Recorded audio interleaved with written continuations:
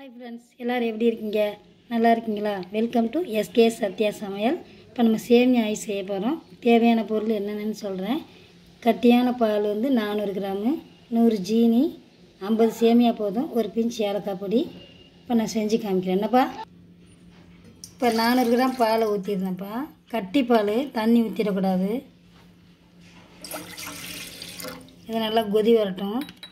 நான் கலர் போடாமல் செய்வேன் பால் நல்லா கொதிச்சிருச்சுங்க பாருப்பா இப்போ வறுத்த சேமியா சேமியா கொஞ்சம் வறுத்துக்கோங்க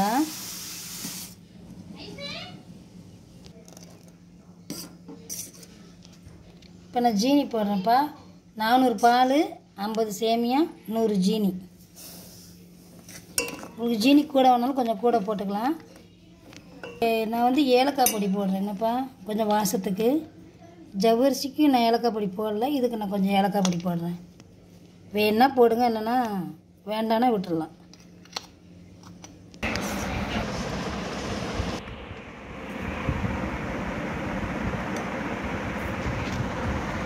ரெடி ஆகிடுச்சு பாருங்கப்பா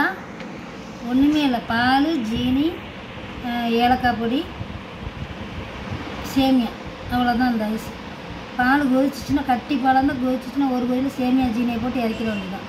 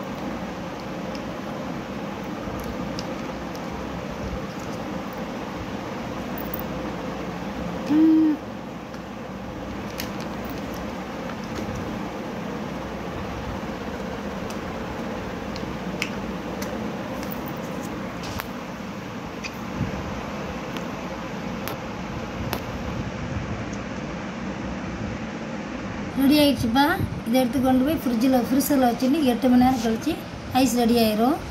நான் ரெடியானோடனே காமிக்கிறேன்ப்பா ரெடி ஆகிடுச்சு பார்த்தீங்களாப்பா சூப்பராக வந்துட்டு பாருங்கள் ஃபுல்லாக ஊற்றணும் அப்போ தான் இடவெளியெலாம் வந்தால் வந்துடும்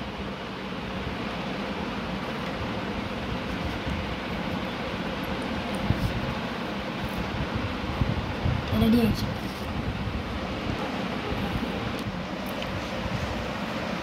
அது சூப்பராக இருக்குது டேஸ்ட்டு பாருங்கள் சாப்பிட்டு பாருங்கள் டேஸ்ட்டு சூப்பராக இருக்கும் இதில் வேணால் மில்க் பவுடர் கூட கொஞ்சம் கலந்துக்கலாம் தேவைப்பட்டால் நான் வெறும் பால் தான் ஊற்றிருக்கேன் மில்க் பவுடர் போட்டால் இன்னும் நல்லாயிருக்கும் எமையாக இருக்கும் சாப்பிட்டு பார்த்துட்டு எனக்கு கமெண்ட்டில் சொல்லுங்கப்பா லைக் பண்ணுங்க ஷேர் பண்ணுங்க கமெண்ட் பண்ணிட்டு மறக்காமல் சப்ஸ்கிரைப் பட்டனை கிளிக் பண்ணிவிட்டு பக்கத்தில் இருக்க பெல் பட்டனை கிளிக் பண்ணி ஆள் கொடுத்துருங்க அப்போ தான் நாங்கள் போடுற வீடியோ உங்களுக்கு வந்துக்கிட்டே இருக்கும் தேங்க்யூ ஃப்ரெண்ட்ஸ் பாய் பாய்